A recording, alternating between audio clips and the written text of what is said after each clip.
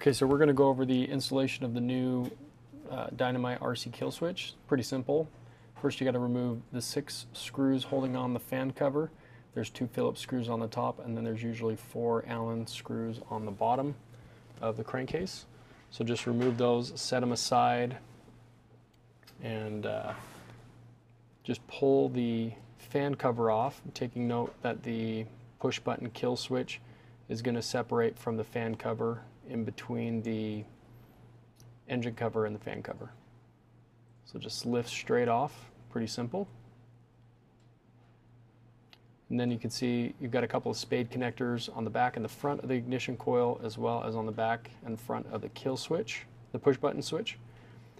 So you're going to remove the ignition coil. There's two screws holding it to the cylinder. You want to be careful as you remove it. There are two plastic spacers that go between the coil and the cylinder and you don't want to lose those. So set those aside somewhere that you won't uh, lose them. It's also nice to work over a nice smooth surface so that if they do drop out you can find them. Uh, use some needle nose pliers to just gently pull up on the uh, spade connector. Be careful not to bend the tabs on the ignition coil. This will free the push button switch that you're then just going to rock back and forth on the connectors and those will easily pull apart. You do use this switch so you don't want to discard it. Next you're going to use the wiring harness from the kill switch and you're going to attach that to the spade connectors. Use the short end of the wiring harness spade connectors. Uh, it doesn't matter which is positive, which is negative. Just uh, install them like that. Next is you will take the long end of the wiring harness and you'll attach that onto the ignition coil. Again, there's nothing, there's no positive, no negative, just install one on the other side. Uh, reinstall the ignition coil, making sure that you use the little spacers.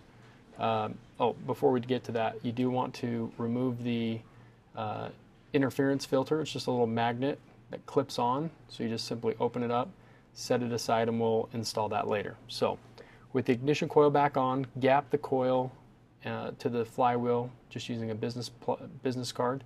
Uh, route the wire so that it kind of goes up and out of the fan cover there.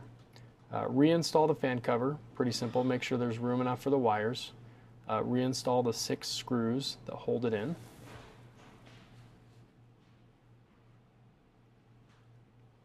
So pretty much just backwards from what you're doing forwards. You can use a little bit of blue thread lock on those bottom four screws if you'd like.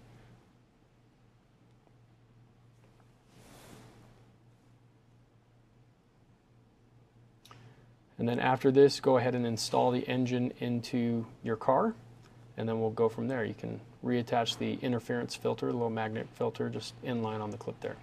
So what you're going to do now is you're going to install the wiring harness into the, the kill switch itself. It's pretty simple. There's a spot that plugs into the receiver.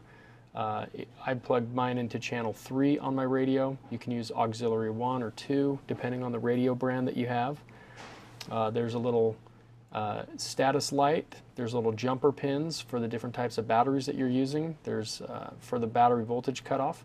You want to remove both of these if you're using a LiPo uh, there's a 4 volt and a 5 volt setting and as well as no voltage cutoff. I'm using a LiPo, so I'm using the LiPo cutoff. We're now going to adjust the radio to the uh, kill switch. So you want to, for the Futaba radio, you want to activate, uh, I'm going to use the push button switch number 2 to function channel 3. And so that uh, is something that can be programmed on your radio. Uh, this is the Futaba 4PV, and so you can see on channel 3 it swings in full direction one way or the other. The status light on the kill switch will show you if it's activated or disactivated. So red means you can fire it up, the light off means it'll kill the engine. So the thing that you want to make sure that you do is set your failsafe point so that channel 3, if it loses radio connection, it also kills the engine. You can see that the um, the servo for the throttle brake goes to full brake and it also kills the ignition. So again, it turns off. Uh, if, if it's not doing that, you want to go through, read the manual, and, and set that up correctly. Uh, route your wire appropriately and so that it's not going to be interfering with any driveline stuff. Uh, lastly, for the VEKTA, I just I just shoved the little LED light through the charging port there, and then I can see the status of the light through it. Uh, it's pretty simple. Thanks for watching.